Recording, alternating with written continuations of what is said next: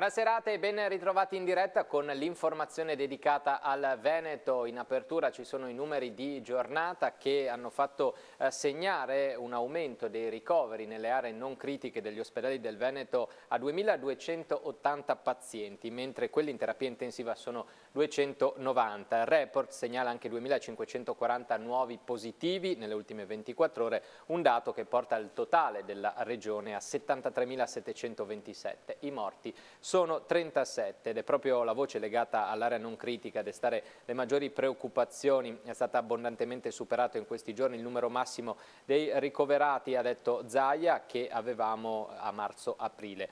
Il, tra i positivi di giornata è da segnalare tra l'altro il rettore dell'Università di Padova, Rosario Rizzuto, che si è sottoposto a tampone ed è risultato eh, positivo. Zaia ha annunciato i dati eh, nella consueta conferenza stampa di giornata, durante la quale ha anche spiegato che novità ci saranno in una nuova ordinanza, tra l'altro poi affrontando pure il tema della riapertura degli impianti sciistici per l'inverno. Ascoltiamolo che domani presenterò la nuova ordinanza. Non cambia nulla che sia scaduta ieri sera, perché l'ordinanza nostra ha un'efficacia soprattutto a fine settimana, questo lo sapete. E per quanto riguarda la scuola, eh, il CTS non ha mai dato il suo assenso, vi ricordate l'ordinanza c'era scritto lezioni strumenti, con strumenti a fiato, attività motoria, previa autorizzazione del CTS, il CTS non non, ancora non si è espresso, per cui è inefficace questo aspetto. Domani presenteremo ordinanza in maniera più, diciamo, completa, alla luce del fatto che domani scade anche l'ordinanza rispetto alla fase di test di tamponi con i medici di base.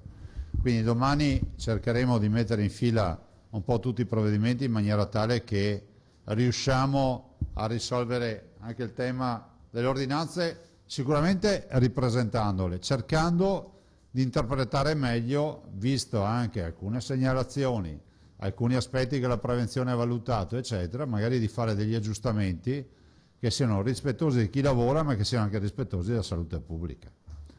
Vorremmo che ci fosse un coordinamento europeo sul tema dello sport invernale, perché chiudere Arabba e pensare, eh, chiudere Cortina, chiudere eh, altre località sciistiche, pensare che a Kitzbühel piuttosto che a Bad Klein-Kirchenheim o a San Moritz o da altre parti si sci, capite che la situazione è difficilmente giustificabile, visto considerato che siamo in uno stesso bacino epidemiologico. Questo è acclarato che siamo nello stesso bacino. Avete visto che le curve sono le stesse, gli andamenti sono gli stessi, c'è solo un ritardo o un anticipo rispetto tra un paese e l'altro, ma quella è la storia, no? Vi ricordate che noi abbiamo sempre utilizzato la Francia come benchmark all'inizio di questa curva, di questa infezione, perché la Francia ha anticipato di un paio di settimane l'Italia. Oggi è tornato a parlare anche il dottor Crisanti, ribadisco che sulla base delle conoscenze che abbiamo oggi non mi farei il vaccino, se dovessero rendere pubblici i dati, la comunità scientifica ne validasse la bontà, me lo farei, non ho alcun dubbio su questo. Andiamo ad ascoltare un passaggio dell'intervento a skytg 24 Io non ho cambiato la mia posizione, a meno che non vengano resi pubblici i dati. Non dubito che tutto quanto verrà fatto con la buona fede e col rigore. Comunque sta di fatto che il difetto è nella procedura affrettata. Si ricorda Gilead e il Remdesivir è stato approvato, è un, è un farmaco che ha degli importanti effetti collaterali. Poi adesso si scopre che non va bene e che adesso tutta la procedura di, eh, di approvazione è in revisione. Cioè, di queste cose bisogna rendersene conto. Cioè ci sono delle procedure che sono accelerate che hanno intrinsecamente dei rischi. Non lo dicono tutti. È solo questo che è un paese provinciale e che si pensa che se uno eh, emette un, una, una, frase che può far eh, chiedere soltanto trasparenza, si scatena un putiferio, ma il putiferio si dovrebbe scatenare, mi scusi, sul fatto che abbiamo 15.000 morti. E allora continua il botta e, risposta, a distanza tra Zaia, che aveva dichiarato tra l'altro proprio nei giorni scorsi che lui il vaccino se lo farà, e Crisanti che ha voluto precisare confermando comunque la sua linea. Ario Gervasutti, caporedattore centrale del Gazzettino, ci sarà anche questo domani nel menù del vostro quotidiano, ma non solo. Sì, buonasera, ci sarà, ci sarà questo, anche se eh, dal punto di vista del governatore Luca Zaia non si è voluto dare molto spazio alla, alla, così, alla, alla polemica, ehm, lasciando sostanzialmente eh, ciascuno sulle proprie posizioni. Ci sarà spazio per questo, ci sarà spazio per le polemiche riguardanti appunto il, eh, il futuro ormai prossimo, imminente del, della stagione eh, sciistica invernali. Avete sentito prima anche voi il governatore Zaia e da questo punto di vista eh, c'è ormai scontato il no eh, del governo, il governo pare intenzionato a mantenere la linea dura e a non, a non considerare le richieste delle stazioni sciistiche e quindi di, degli imprenditori eh, del turismo invernale. Eh, quindi è, è, molto probabile che ci sia solo un piccolo, eh, diciamo una piccola via di fuga proprio nei giorni di vigilia e Natale con la possibilità di spostarsi. Questo mh, al momento pare la, il massimo delle, delle, concessioni che il governo eh, vuole dare alla linea dura.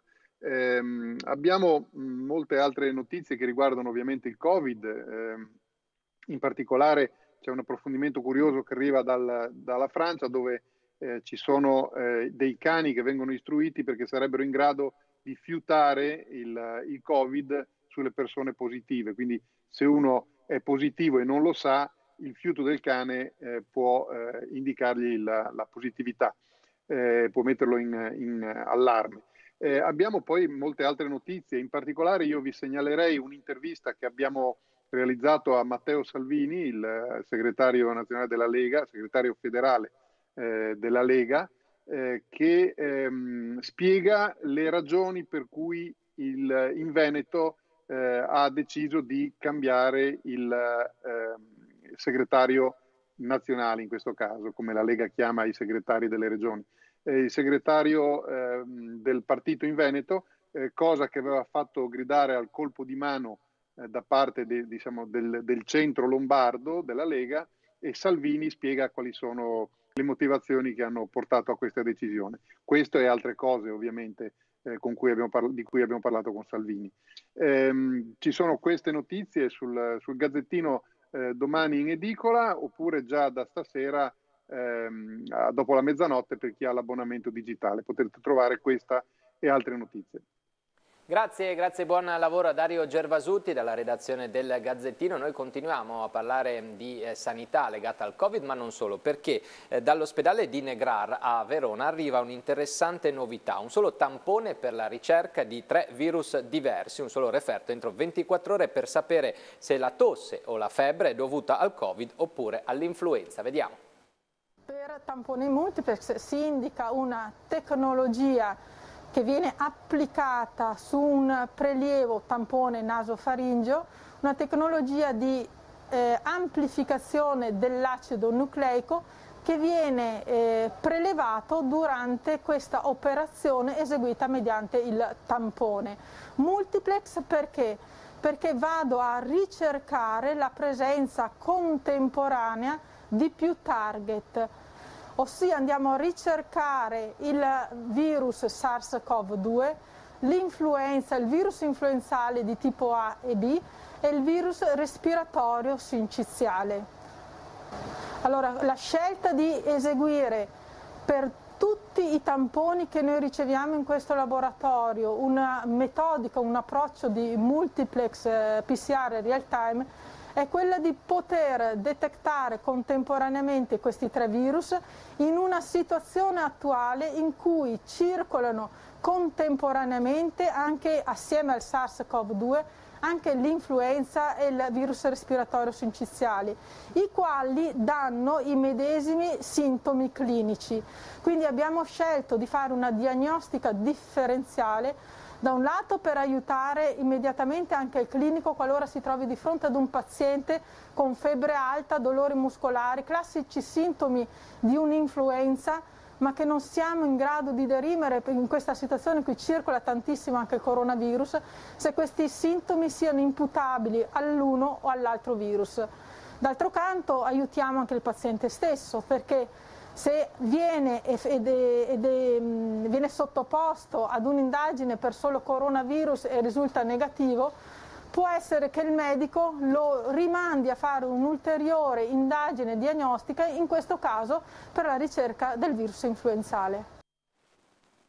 Per quanto riguarda invece i protocolli che devono seguire le aziende di trasporto proprio per evitare il propagarsi del virus, ci sarebbe la, il distanziamento e l'occupazione al 50% dei mezzi pubblici. Siamo andati a vedere con Rosario eh, Padovano a, Venezia, in particolare sui eh, traghetti della CTV, come ci si comporta.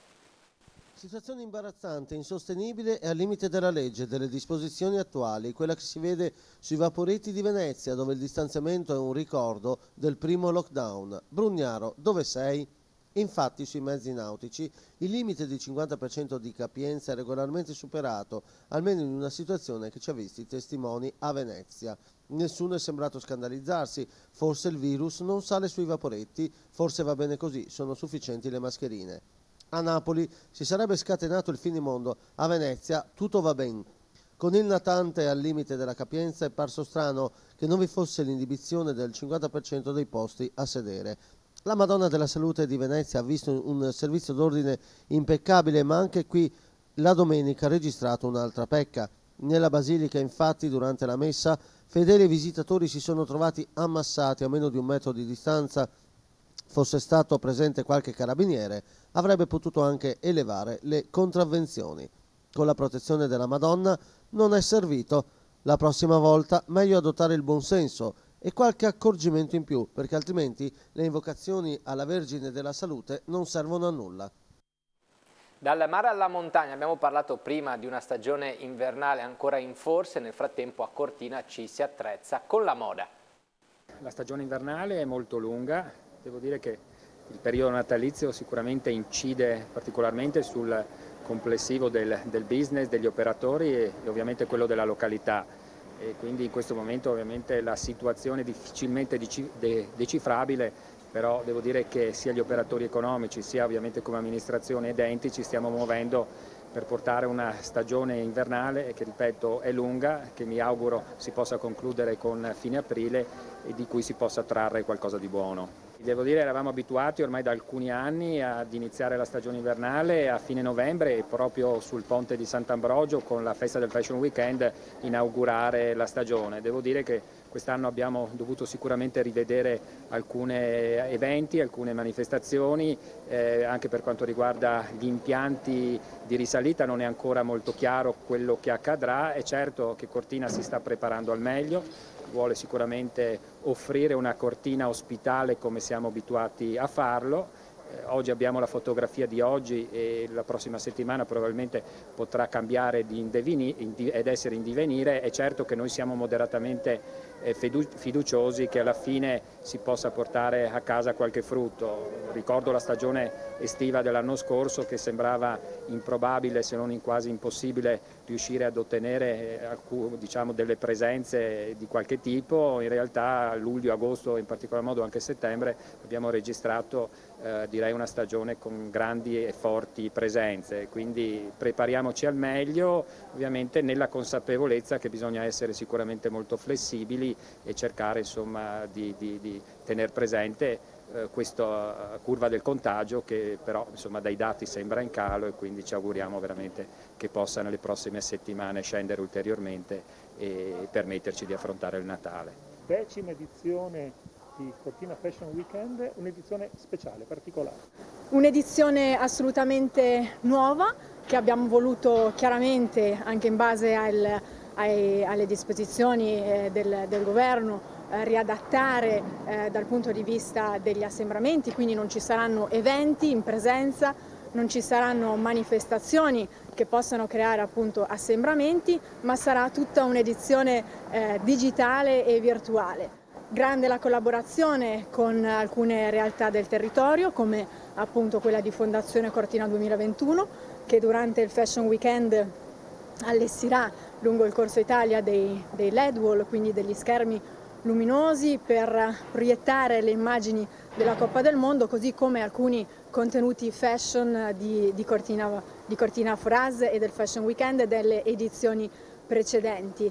E con il comune di Cortina d'Ampezzo siamo nuovamente in coorganizzazione con loro realizzeremo del, dei bellissimi eh, video mapping sul, sul, campanile di Cortina dove appunto eh, chi potrà essere a Cortina in quei giorni e anche nei giorni successivi potrà godere di questo spettacolo luminoso. E I nostri soci, associati e negozianti saranno presenti e faranno vivere l'atmosfera del fashion eh, con, eh, rendendo le loro vetrine e le loro attività eh, brillanti e sorprendenti con qualche eh, particolarità appunto che eh, riporterà a questa magica atmosfera che comunque non deve mancare, deve ricordarci un po' questa, questo senso di speranza verso il futuro. Ci fermiamo qui, è tutto per l'informazione dedicata al Veneto che tornerà puntuale domani alle 20.30. Buona serata.